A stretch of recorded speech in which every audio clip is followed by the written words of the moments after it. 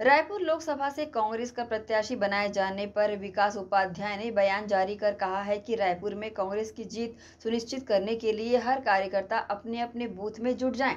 विकास उपाध्याय ने रायपुर लोकसभा से उम्मीदवार बनाए जाने के लिए पार्टी के अध्यक्ष मल्लिकार्जुन खड़गे, सोनिया गांधी, राहुल गांधी के सी वेणुगोपाल, सचिन पायलट एवं प्रदेश कांग्रेस के सर्वोच्च नेताओं के आभार व्यक्त करते हुए लोकसभा चुनाव की लड़ाई को निर्णायक करार देते हुए रायपुर की सीट को कार्यकर्ताओं की मेहनत के बल पर जीतने का दावा किया।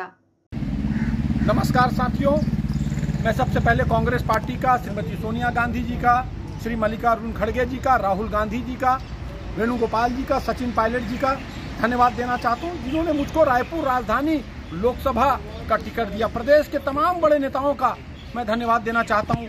आज एक तरफ़ राहुल गांधी जी पूरे देश में भारत जोड़ो न्याय यात्रा के माध्यम से बेरोजगारों को न्याय महँगाई के खिलाफ न्याय, देश में देश में फैली अजागता के खिलाफ न्याय की लड़ाई लड़ रहे हैं। उस न्याय की लड़ाई में मुझको हिस्सेदार बनाकर रायपुर राजधानी के लोकसभा का टिकट दिया है।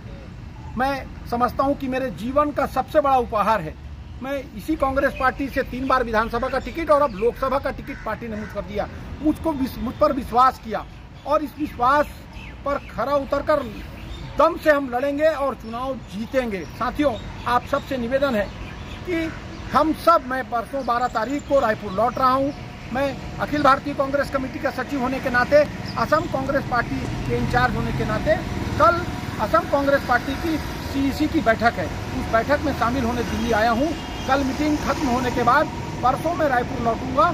हम सब लड़ेंगे, बहुत मेहनत करेंगे और जीतेंगे। दूसरी महत्वपूर्ण बात, साथियों, भारतीय जनता पार्टी और उनकी आईटी सेल के लोग जिस प्रकार से पूरे देश में अफवाहों को गर्म करते हैं, अफवाहों को फैलाते हैं, भारतीय जनता पार्टी के कुछ नेताओं ने इस बात को कहा है और एक न्यूज़ एक न्यूज़ ने चलाया है कि विकास उपाध्याय अपनी टिकट वापिस करने गए हैं। किसी को बोलेंगे भी तो कोई विश्वास नहीं करेगा।